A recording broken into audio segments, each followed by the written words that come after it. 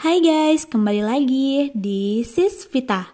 Jadi di sini aku mau update soal hari pertamanya Nonggaf di Jepang. Dan by the way, ada sesuatu yang buat kita terkejut banget guys. So, kalau kalian penasaran, check it out. Nah jadi ya guys, di tanggal 27 Agustus kemarin ya, jam 9 malam waktu Thailand, Nonggaf ini akhirnya pergi ke Jepang untuk project fan meeting di sana. Dan di tanggal 28 Agustus, melalui Instagram story-nya, akhirnya Nonggaf ini sampai juga di Jepang guys. Dan dari hari pertamanya di Jepang, kita langsung dikasih momen yang mengejutkan banget. Yang mana setelah Nonggaf ini sampai di negara Sakura tersebut, Nonggaf ini langsung update dengan mengupload foto dan video di Instagramnya, yaitu Nonggaf datang menonton konser fanfest anak GMM TV guys. OMG.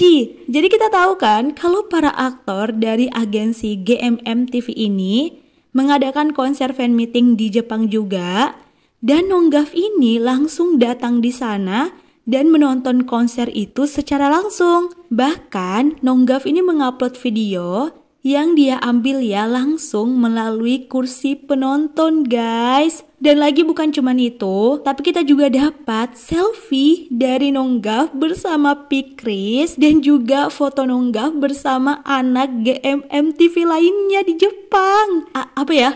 Aku kayak serius gitu kayak tremor banget bahas ini. Karena di video aku sebelumnya yang udah aku upload itu soal update-nya MuGAF di situ aku sempat bahas gitu kan soal Nonggaf sama anak GMM TV dan di situ aku kayak berharap banget gitu kalau mereka ini tuh bisa ketemu dan boom ini tuh di luar ekspektasi banget gitu kan. Gak nyangka banget kalau Nonggaf ini bakalan datang di konsernya GMM TV dan ya intinya nggak nyangka banget gitu kalau mereka itu sedekat itu ya guys jadi intinya tuh karena momen ini aku tuh kayak semangat gitu kalau Nonggaf ini pasti, pasti bakalan ada project bareng anak GMM TV. Aku yakin banget sih, intinya aku paling pantau soal ini.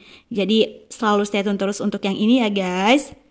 Dan by the way, selain update-nya yang satu ini ya, yang mana Nonggaf ini ketemu sama GMM TV di hari pertama di Jepang. Di hari itu juga kita dapat update dari Nonggaf yang mana dia ini ketemu dengan Ryuza Hidaka atau penyanyi lokal dari Jepang. Dan pastinya momen ini buat fans excited banget dan penasaran gitu apakah mereka berdua ini bakalan berkolaborasi di konser fan meeting nanti.